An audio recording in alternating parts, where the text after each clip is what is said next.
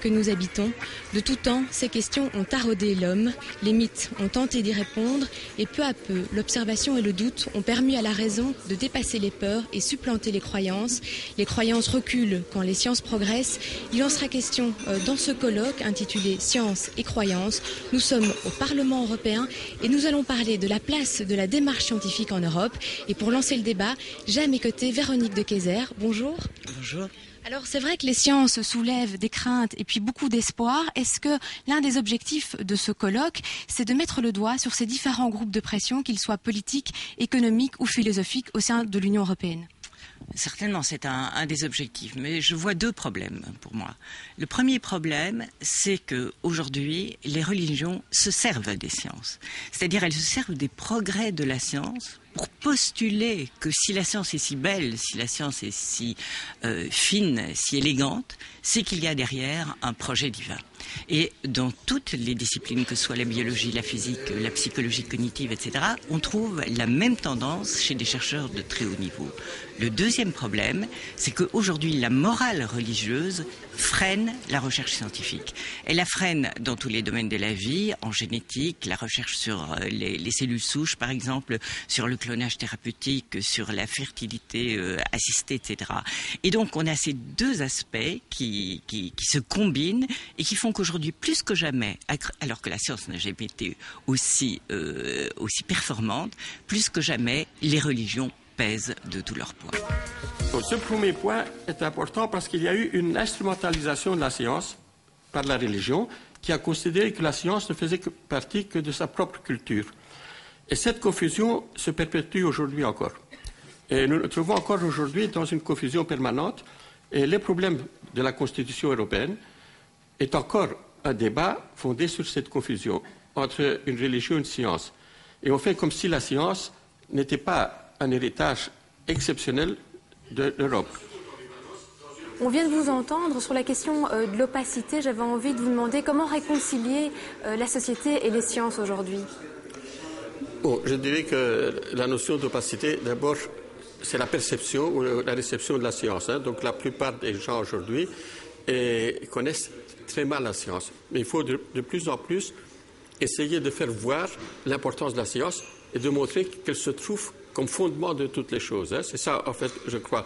Et donc, la question de l'enseignement est importante, mais la question aussi de l'usage des moyens technologiques de communication pour faire passer la science. Donc, il faudrait que la science aussi devienne quelque part ludique, pour que les gens se disent j'ai envie de faire cela et qu'elle ne voit pas le côté obscur. Il faut qu'elle retrouve son rôle initial, en fait, qui est, celui de, mise en garde vraiment euh, sur les croyances. Voilà, c'est ça. Je crois que c'est la clé. C'est-à-dire la clé, c'est que euh, actuellement la science n'est plus émancipatrice. Ou bien on dit c'est une culture comme une autre. Et on oublie qu'en fait, c'est le fondement de toute connaissance. On essaie toujours d'aller plus loin. Et d'autre part, on oublie qu'elle n'a pas de caractère maléfique. S'il y a caractère maléfique, c'est au niveau de l'usage de la technologie et pas au, au niveau de l'usage de la science. Donc il faut effectivement partir par le principe que la science, contrairement aux croyances, qui sont locales, qui sont particulières, qui sont toujours privées, la science est universelle. Donc il faut qu'on réhabilite la science au niveau de son caractère émancipateur, montrer que ce qui a fait l'Occident, c'est ce caractère émancipateur. Et là, bien sûr, on a le problème de la culture, parce que comme j'ai dit dans mon exposé, le problème des cultures, c'est qu'avec la démocratie, les cultures se disent nous avons la liberté d'expression, nous avons le droit de faire ce qu'on veut, ce qui veut dire qu'ils se cachent derrière cette liberté pour faire passer des idées inacceptables souvent et des attitudes inacceptables. Mais on sent bien l'importance de la laïcité, le rôle de la voilà, laïcité. C'est le rôle de la laïcité qui peut se servir justement du caractère universel de la science et dire qu'il y a des choses inacceptables. Et je crois que c'est l'élément majeur, émancipation de la science, qui permet d'une certaine façon de dire les croyances, d'accord, mais il y a des limites. Elle doit se soumettre à un mode commun, à l'interculturalité. Je dis que la multiculturalité n'est pas une solution. Au contraire, elle est très dangereuse parce que chacun se cache derrière euh, cette multiculturalité pour faire passer des choses inacceptables. Donc, on doit être soumis à une interculturalité qui veut dire respect de l'autre, mais soumission à des règles des choses inacceptables et d'autre part, il y a des lois universelles et la science peut être un bon modèle pour faire passer ce message sur l'émancipation de l'homme. Quelques résultats de ces eurobaromètres, ce sont donc ces grandes enquêtes d'opinion qui sont représentatifs des populations de chaque pays. On voit essentiellement que les Européens sont toujours fort intéressés par euh, l'actualité et les informations scientifiques, techniques et médicales, contrairement à, ce qu'on pourrait penser. C'est Tony Blair, l'ancien ministre britannique, qui euh, déclarait dans plusieurs de ses interventions qu'il y a un mouvement anti-science qui se développe en Europe. Les données ne, permettent pas de déceler l'émergence d'un mouvement anti-science, même si une vigilance certaine est nécessaire. Et plus intéressant aussi, ce qui n'apparaît pas sur ce graphique, c'est que les jeunes sont même plus intéressés dans la science et la technologie que euh, la moyenne de la population. Michel Cassens, bonjour. Nous venons d'entendre votre conférence intitulée Les Européens, les sciences et les non-sciences. Alors, première question, j'avais envie de vous demander de définir en fait ce qu'est une non-science. Euh, je commencerai à définir la science peut-être, par opposition. Euh, il y a un consensus dans le monde euh, intellectuel et scientifique pour définir une science comme une démarche intellectuelle et expérimentale. C'est pour ça que dans certains pays, les mathématiques ne sont pas considérées comme une science, par exemple. Donc une démarche intellectuelle et expérimentale qui permet d'infirmer ou de confirmer certaines affirmations.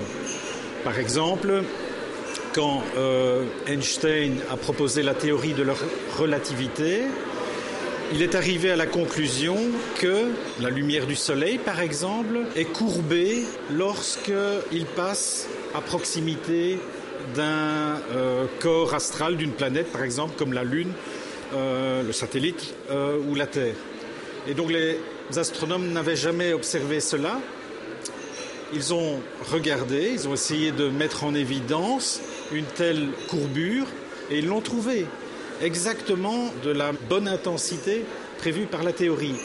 Donc c'est une confirmation expérimentale donc, qui a euh, permis de valider la théorie de la relativité. Il y a eu plein d'autres euh, confirmations après cela. Maintenant, les scientifiques disent aussi que la relativité est une théorie scientifiquement établie, mais qu'à un moment donné, il va y avoir une découverte qui va l'infirmer. Oui, c'est ce qui permet de faire la distinction avec l'astrologie, par exemple. Voilà. Et donc, par opposition à cette définition, les non-sciences, ben, ce sont des disciplines qui ne permettent pas ce dialogue-là entre la théorie et l'expérience, comme par exemple l'astrologie, la voyance, la religion, le créationnisme. Donc il y a euh, toute une série de disciplines qui parfois empruntent un vocabulaire scientifique et qui peuvent induire de cette façon des confusions dans l'esprit des gens, mais qui n'ont pas du tout cette rigueur et cette démarche de dialogue entre la théorie et l'expérience. Vous nous avez livré lors de votre conférence une série de sondages très intéressants et à la question de savoir quelle était la définition des Européens sur la science, il y a lieu de s'inquiéter. Pour les Européens, la science, c'est essentiellement une euh, étude en profondeur, un travail une compréhension en profondeur. Aucune référence donc à ce dialogue entre l'expérience et la théorie, ce qui est inquiétant. C'est inquiétant parce que d'après cette conception de la science, les gens prendront un travail sur le darwinisme, l'évolution par exemple, euh, au même plan qu'un travail sur le créationnisme par exemple, ce qui n'est pas du tout la même chose. Donc euh, euh, ça ouvre la porte en effet à ce genre d'excès et au fait que la science est mise sur le même plan que des travaux qui sont non scientifiques. La question de, la science prend plus en plus de place dans notre vie quotidienne, les nouvelles technologies. On n'est plus à l'époque de Galilée où on se demande si la Terre tournait, mais si Galilée a été enfermé, c'est pas tellement parce qu'il amenait des connaissances scientifiques, c'est parce qu'il remettait en cause la toute-puissance de Dieu et donc de l'Église et du pouvoir politique qu'il y avait derrière. Aujourd'hui, il n'y a plus de Galilée, mais il y a quand même toute une question des nouvelles technologies, de leur utilisation qui se pose. Et si on n'a pas de scientifiques pour nous aider à décoder comment ces, technologies fonctionnent, on peut difficilement les contrôler démocratiquement. Il est évident que si le Parlement gagne en compétences, les matières s'élargissent et les sciences sont une domaine, un domaine qui, entre dans les compétences propres du Parlement. Et il est évident là que certaines tendances pourraient freiner l'évolution des sciences ou leur donner une orientation qui n'est peut-être pas conforme à nos idéaux laïques. Je pense que la recherche scientifique court un risque face aux croyances, euh, en tout cas qu'il faut être vigilant par rapport à cette possibilité. Et ce que j'ai entendu aujourd'hui euh, montre bien que le lobbying existe et qu'il il peut vraiment avoir une influence forte sur les décisions politiques. On parle plus de science, bien entendu. Donc pour Kant, la science est le lieu de la vérité. est le lieu même d'une démarche rationnelle, d'une appréhension rationnelle de la, réalité, mais de la réalité telle qu'elle nous apparaît à travers les organes des sens. Donc il distingue un usage légitime de la raison, qui est la raison quand elle porte sur les expériences et sur les organes, sur ce que donnent les données, les données de la sensibilité, d'un usage illégitime de la raison. L'usage illégitime de la raison, c'est la raison qui croit apporter de vraies connaissances alors même qu'elle ne travaille que sur elle-même. Quel exemple d'usage illégitime de la raison? C'est toutes les preuves de l'existence de Dieu. C'est intéressant cela. Vous avez Vous êtes euh, à la tribune aujourd'hui le seul représentant d'une université qui se dit catholique, celle de Louvain. Alors est-ce que cette appartenance met-elle un frein ou force-t-elle à faire des concessions dans votre champ de recherche? Sur le plan théorique, non. je veux dire sur le plan théorique, c'est sur le plan de la connaissance. Euh, parce que précisément, si on prend au sérieux la distinction entre connaissance et signification, ça, libère au contraire le champ de la connaissance. Et on peut y aller sans aucun frein sur le plan de la connaissance. Par contre, sur le plan éthique, là, ça, comporte bien sûr des contraintes, parce qu'on ne peut pas faire n'importe quelle expérience. C'est vrai dans, toute, euh, dans toute université. C'est que la bioéthique, on, oublie ça. La bioéthique, historiquement, vient des États-Unis, après qu'une série d'expériences de tests de médicaments a été faite sur toute une série de populations sans, qu'ils soient informés. Ben, actuellement, on juge que c'est inacceptable, et tous les scientifiques. Quand on est sur le plan éthique, je pense que tout scientifique a quelque part une limite. Il ne met pas la limite au même endroit. Mais sur le plan théorique, le fait d'être dans une université catholique ne comporte aucune contrainte euh, particulière. Donc confusion des genres, ça c'était un petit peu votre sonnette d'alarme tout à l'heure. Et vous avez cité évidemment l'intelligent euh, design qui opère cette confusion. Exactement.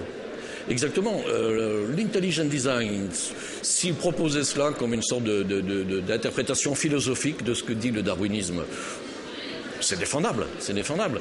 Le, problème de l'intelligent design, c'est qu'il se présente comme une théorie scientifique et, en plus veut s'imposer au programme des cours de, de, sciences. Et là, c'est totalement inacceptable. Là, ça devient indéfendable. Donc, je pense qu'au contraire, effectivement, pour moi, l'intelligent design, c'est une dérive, euh, c'est une formule plus acceptable qu'ils essayent de présenter, plus acceptable de du créationnisme, si vous voulez, dans la formule initiale, mais on est devant la même dérive. On est devant la même dérive. C'est pas la seule que vous avez dénoncée d'ailleurs. Hein non, cest dire le, effectivement, je, pense, si vous voulez, la distinction entre le registre de la signification et le registre du savoir ouvre la porte à toutes les interprétations. Et alors, présenter par exemple la théorie de l'évolution biologique comme quelque chose qui démontrait que Dieu n'existe pas, c'est tout aussi inacceptable sur le, plan théorique et sur le plan épistémologique. Donc, si vous voulez, je pense qu'il faut être attentif des deux côtés. Et, dans la perspective interculturelle, c'est vraiment très important de, de, faire percevoir que la science n'est pas nécessairement porteuse de l'athéisme, entre guillemets la position athée est parfaitement respectable, bien entendu, euh, mais, disons, il y a une dissociation à faire là aussi, dans une perspective interculturelle. Avec aussi euh, cette phrase assez, euh, assez importante que vous avez dite qu'être scientifique, pour certains, c'est renoncer à sa culture de base. C'est une question. Je pense que c'est une question, si vous voulez, dans, dans, les autres cultures. Les autres cultures, les autres cultures sont fières de leur culture légitimement. Hein, je veux dire, quand, vous alors, ils sont fiers de leur passé, sont fiers de leur histoire. Euh, être fier de sa culture, c'est pas nécessairement être frileux. Donc, si vous voulez, je, tout le débat entre le, particulier et l'universel, c'est clair que la science est porteur d'un discours de type universel, mais que chaque culture s'inscrit dans une tension entre le particulier et l'universel. Et je pense que si vous dites aux scientifiques euh, qu'il y a place pour une pluralité de discours interprétatifs, vous êtes dans une logique où alors il est plus facilement pensable d'être à la pointe de la scientificité, voire de la modernité, sans être un occidental. Au fond, tout le débat, c'est la distinction entre moderne et occidental ici, on est en Occident. Moi, je suis un pur produit occidental. Franchement, je n'en fais aucun complexe. Mais, ce qui me ferait problème, c'est d'être dans une dynamique d'écrasement et de dominance à partir de l'Occident. Donc, je pense, pour moi, le concept de modernité, c'est euh, ce qui est universalisable, hein, mais qui peut être parfaitement compatible avec d'autres cultures. Pense pas que ce soit les croyances qui peuvent entraver la recherche scientifique. Euh, il y a des gens qui ont des croyances qui en effet euh, peuvent paraître aller à l'encontre. Mais je pense qu'au contraire, un colloque comme celui-ci fait apparaître que euh, des gens de convictions différentes, de convictions religieuses, non religieuses, sont capables de travailler ensemble. Mais la démarche scientifique c'est tout autre chose. C'est pas seulement croire ce qui est vrai, c'est essayer de comprendre la démarche scientifique qui est une démarche basée sur l'expérience et sur la reproduction d'expérience. Et donc je crois que chaque fois qu'on fait un petit pas pour la démonstration de ce qui est la démarche scientifique, on fait un petit progrès pour euh, nos citoyens. Je pense que nous allons avoir une énorme difficulté. D'abord, nous l'avons déjà. Nous savons que le nombre d'étudiants en sciences des durs euh, diminue. Ce n'est pas une bonne chose. La deuxième chose, c'est deux facteurs qui influencent malheureusement négativement. C'est l'Europe des classements, où on met en évidence les élites universitaires. Et donc la grande question est de savoir si les élites universitaires vont oublier tout ce qui est la classe moyenne en termes d'attrait de la population. Le deuxième facteur qui est négatif, c'est bien entendu le facteur financier. Les catholiques notamment disent souvent que nous nous trouvons dans le domaine des croyances devant l'indécidable. Eh bien oui, en effet, nous ne nous mettrons pas d'accord. Donc arrivons directement à des conclusions positives, séparer les magistères d'une part et œuvrer à, ce qui est le plus important, c'est-à-dire développer les connaissances pour un meilleur enseignement de ces sciences euh, en Europe notamment. La démarche scientifique elle-même, euh, certains trouvent le moyen de la qualifier d'immorale. Ça, c'est un point crucial euh, qui circule beaucoup dans les milieux extrémistes religieux, parce qu'elles elles, elles, elles permettent de poursuivre des objectifs qualifiés d'immoraux. Le raisonnement, l'architecture mathématique des raisonnements scientifiques, elle n'est pas immorale, elle est amorale, ce qui n'est pas tout à fait la même chose. Euh, 2 et 2, 4, c'est moral ou pas? J'ai découvert que la morue était plus apparentée au, Saint-Pierre alors que je m'attendais à ce qu'elle soit apparentée à la Baudroie. C'est moral ou pas comme résultat?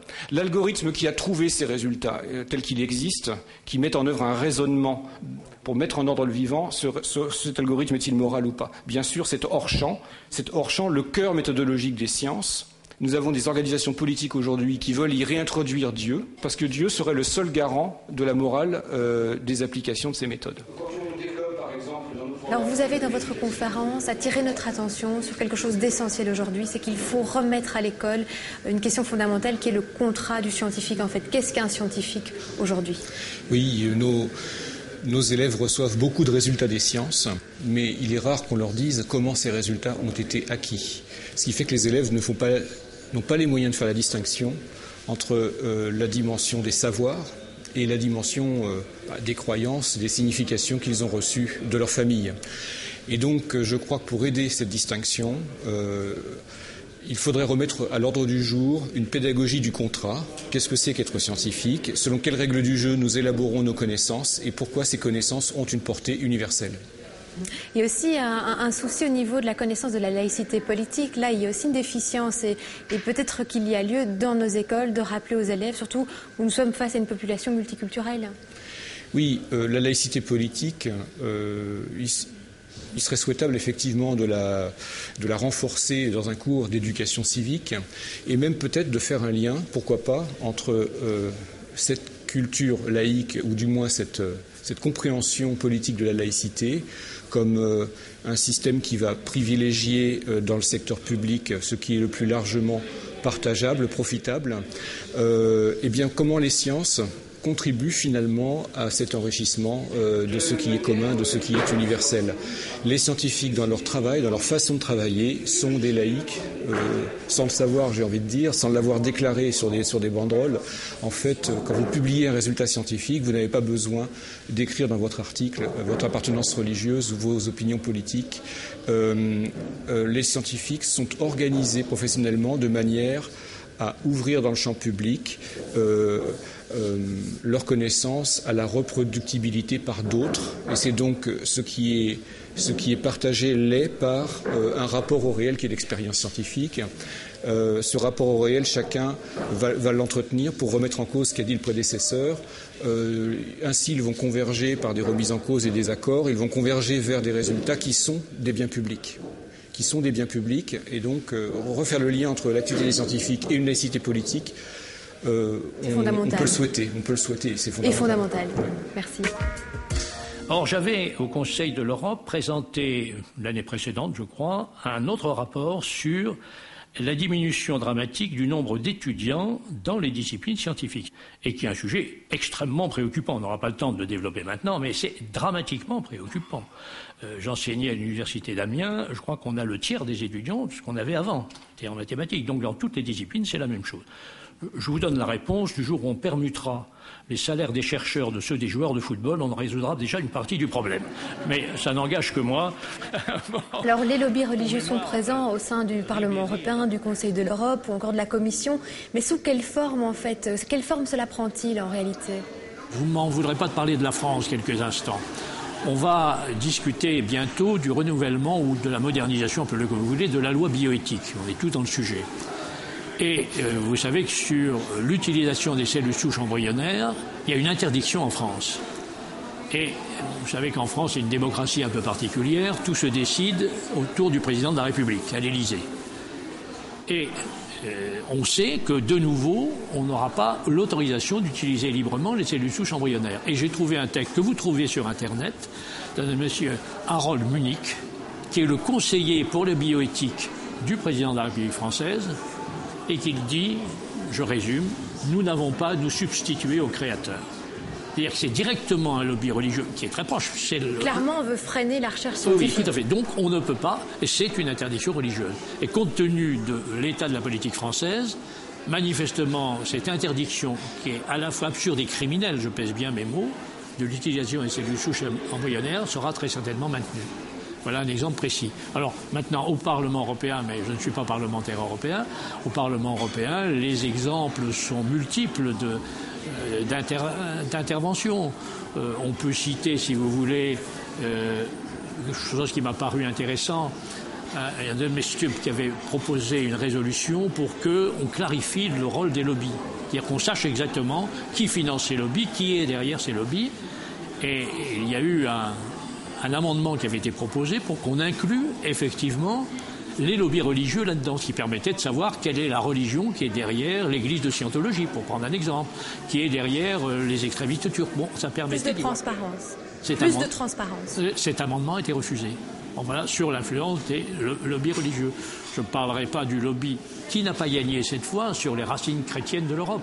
Une pression extrêmement forte sur les gens qui rédigeaient le projet de constitution européenne pour qu'on inclue effectivement les racines chrétiennes de l'Europe. Alors que, pour moi, l'Europe, elle est d'abord l'Europe des Lumières, c'est-à-dire celle d'où est née la démocratie, d'où est née la, la science, enfin, etc. Donc, on n'en parle pas.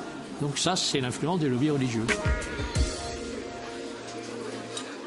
Vous le voyez derrière moi, ce colloque Sciences et croyances touche à sa fin. Et pour rendre les conclusions, j'ai à mes côtés Pierre Galland. Bonjour.